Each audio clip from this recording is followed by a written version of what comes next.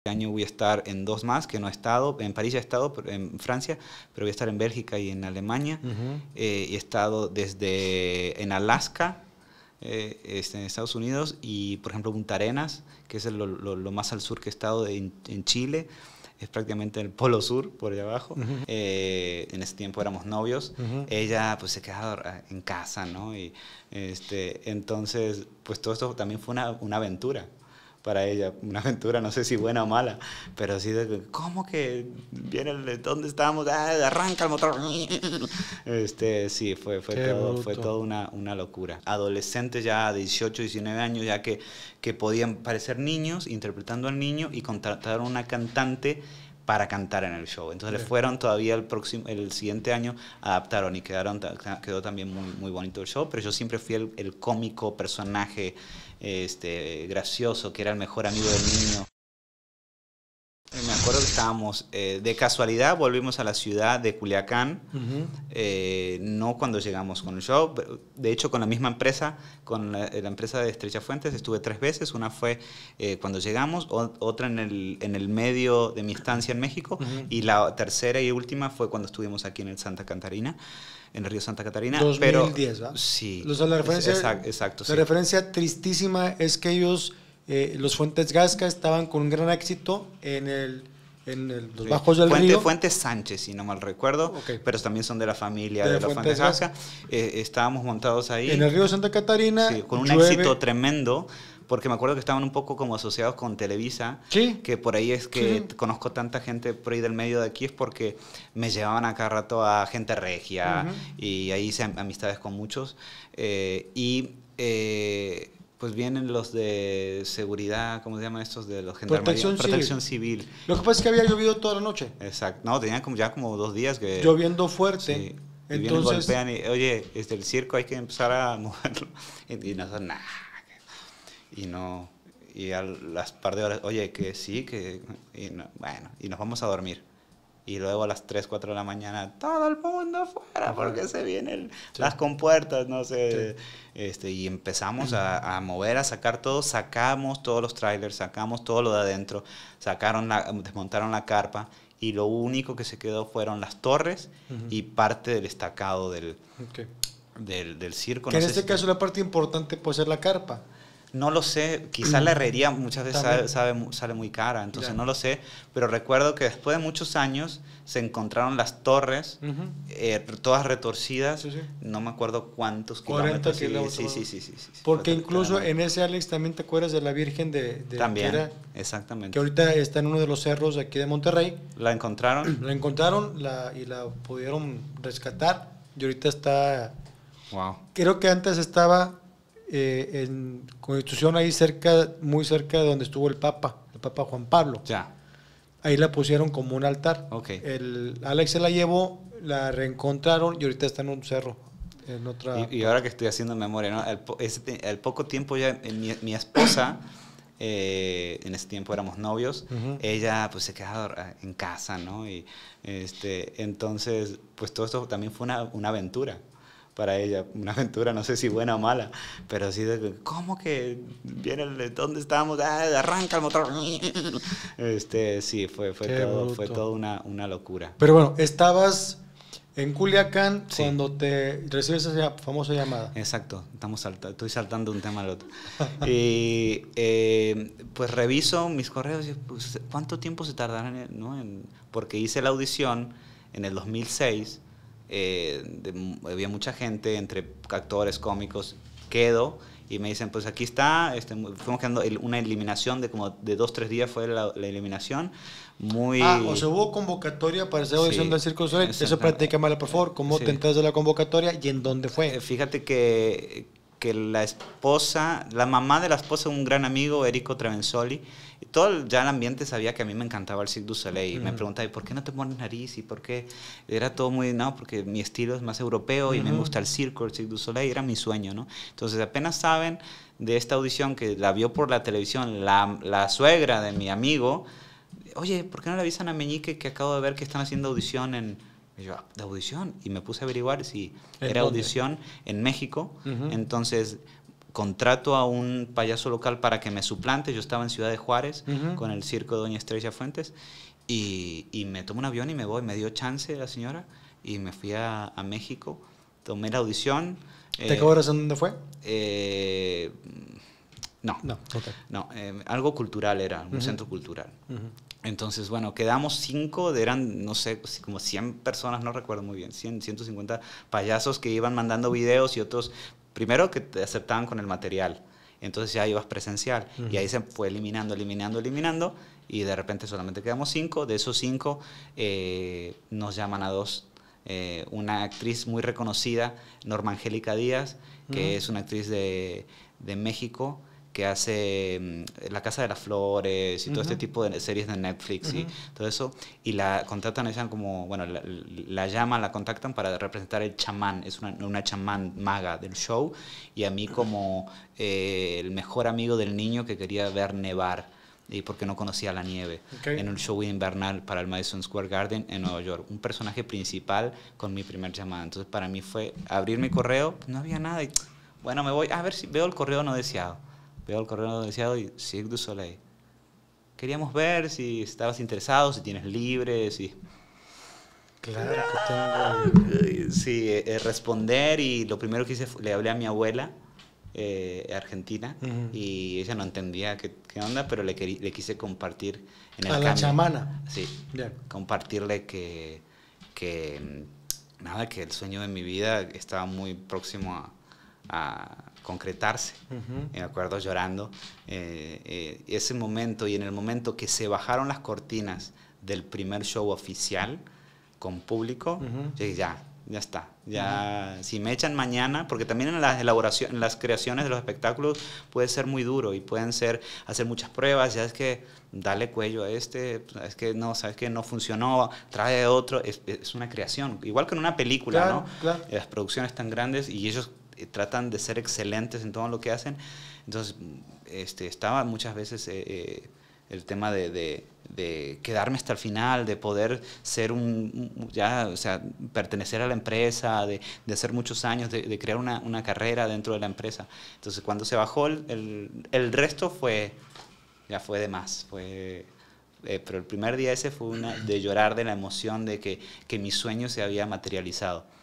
Este, ¿El ensayo fue en algo- inglés o ahí no hay, no hay texto? No, no, en ese show sí había texto, pero cantado. Era como, como Broadway. Ok. Como que el niño quiere ver nevar. Ya. Y en el yo soy el niño y nunca he visto nevar. ¿Y ahí cantabas? Es- no, yo no. Ok. No, no. Canto ni en la ducha. Ok. Este, no, el niño cantaba, eran tres niños, este, niños, niños, eh, que cantaban y la, y la chamana hablaba, eh, contaba parte del show.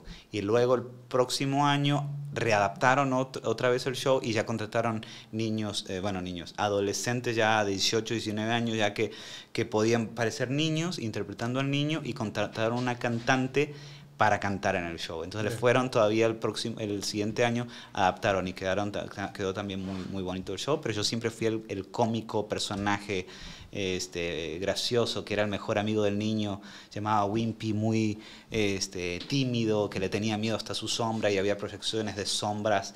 eh, también que mapeamos de mi, de mi silueta y me daba miedo y me metía dentro de un tacho de basura y ese tacho de basura volaba y venían unos títeres gigantes de perros que eran eh, cuatro o cinco perros gigantes que eran títeres gigantes y yo me hago amigo de los perros y era, era un show infantil O sea, increíble. todo esto, perdón para ubicarlo, es pura mímica. Todo el tiempo fue mímica. En el caso tuyo. Eh, En el caso, mímico- en el caso mío, eh, sí, eh, y, y decía algunas, este, eh, wow, oh no, ah, psh". Ok. Sí, tenía micrófono, pero era puro más este eh, sonido que le daba eh, un poco de vida al personaje, pero no había, solamente hacía una, una línea en el final que me enamoraba de la princesa, este, de- de- del, del, del eh, Wintuk Clown, que era el, el- como el Polo Norte y la- una tribu indígena del, del- Entonces yo me enamoraba de esa princesa y estaba en, el mon- en una montaña y le decía, I love you, I love you, y, y me, me caía de la montaña y aparecía por abajo por una alcantarilla, me corría todo y, y caía, ¿no? Eh, Era muy, muy chistoso, el, el show era familiar. Si tú fueras productor, ¿por qué Facundo quedó y no quedó alguien más? Yo creo O sea, háblame viendo ese Facu- Facundo, viendo ese Facundo, eh, era, eh, yo creo que era muy diferente a todo lo que había eh, en todos lados. Mi corporalidad era muy delgado y mis muecas y era, era muy y era muy ah, elástico en mis movimientos y era mis brazos muy largos y muy chaparrito y, era, era muy interactivo, era como un cartoon. Cuando era más, más joven era, era muy este, eh, dinámico. Eh, y en un momento también les llevé un bombo y les dije, pues les quiero enseñar también lo que puedo llegar a hacer haciendo una- un, un cambio del personaje y hice el gaucho tocando el chicu- y con el pelo, ¿no? De- ah, no, no tenía pelo, tenía un- un- unas pañoletas, porque estaba afeitado. Y moviendo, ¡ah! gritando ¿no? y haciendo una rutina de, de bombo legüero. Y, ¡fra! Entonces, en el momento que en, el, que en la historia pelean con gigantes de hielo, que es como el clímax, el nudo de la historia, eh, el personaje más tímido su, se revela y empieza a tocar un tacho de basura como Malambo y yo y la chamán como que rompemos esos gigantes de hielo que eran más masivos, ¿no? Eran gigantes los, los títeres. Entonces, eh, les gustó esa, esa, ese personaje tan noble y tan chiquito que de repente se transformaba en un guerrero malambero. Entonces, me- cuando me llevan, el primer año hago esa, esa interpretación. Luego, los otros años los, aju- lo ajustamos, quitamos el, el, el- el malambo, lo quitamos, hicimos otro tipo de cosas, eh, otro tipo de peleas más como, como de lucha con los gigantes, eh, más drama, dra- dramaturgia que, que baile.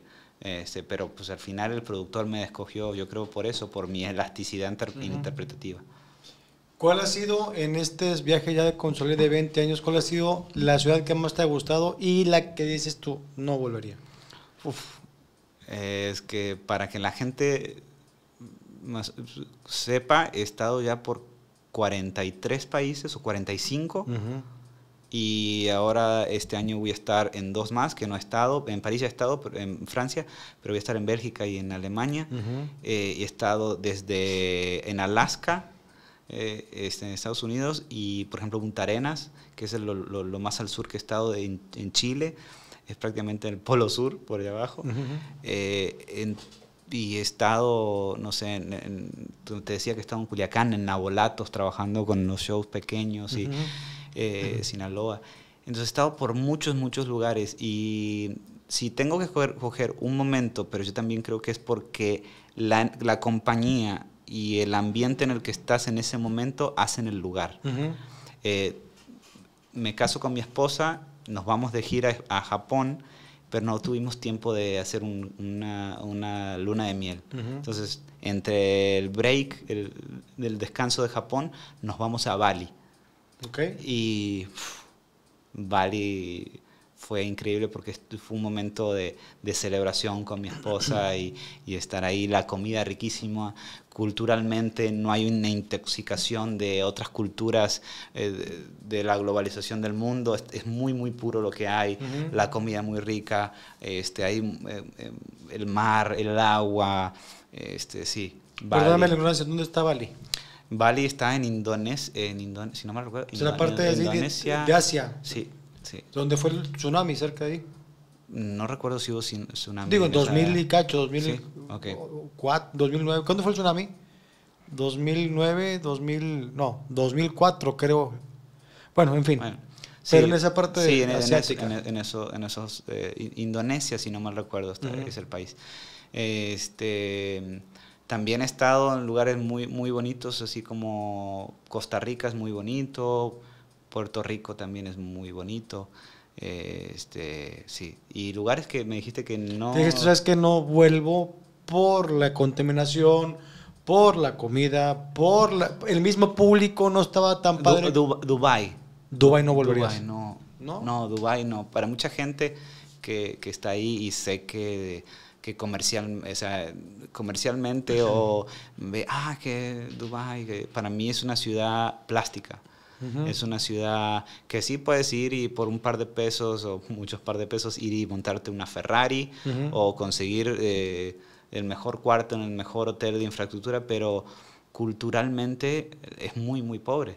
Es algo fabricado de, muy, muy, poco tiempo. Entonces, yo creo que soy una persona, soy pisciano, soy muy vibracional, que puedo vibrar en los lugares y la energía, o por lo menos eso mi cabeza piensa.